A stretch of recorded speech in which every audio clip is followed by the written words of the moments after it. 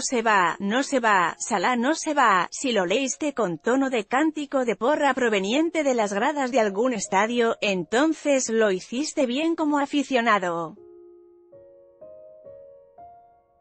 Resulta que después de verse tentado por varios equipos europeos, el delantero egipcio Mohamed Salah renovó contrato con el Liverpool, equipo que hizo oficial la operación este lunes. Serán cinco las temporadas que permanezca Mohamed Salah con el equipo perteneciente a la Premier League. Su contrato no contiene ninguna cláusula de rescisión, hay que aclararlo.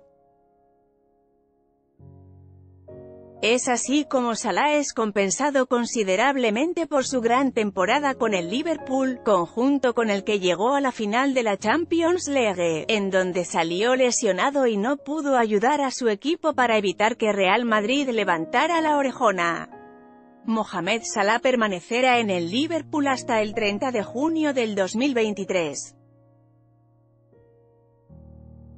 De esta manera, según fuentes cercanas al club, el jugador se sitúa al nivel de futbolistas como Roberto Firmino y Virgil van Dijk en la escala salarial de la plantilla del Liverpool. Salah ha sido nominado esta temporada Jugador del Año de la PFA. Su entrenador, Jürgen Klopp, ha sido uno de los primeros en reaccionar a esta renovación.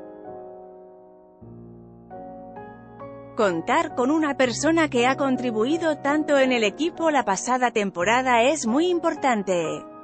Demuestra que él confía en nosotros y nosotros confiamos en él, sentenció el técnico, así pues, tenemos a para rato en el Liverpool.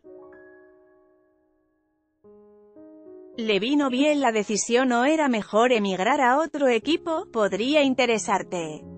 A Egipto le faltó su faraón Salah y su Uruguay lo derrota en Rusia la Almaraz, periodista egresada de la FES Acatlán.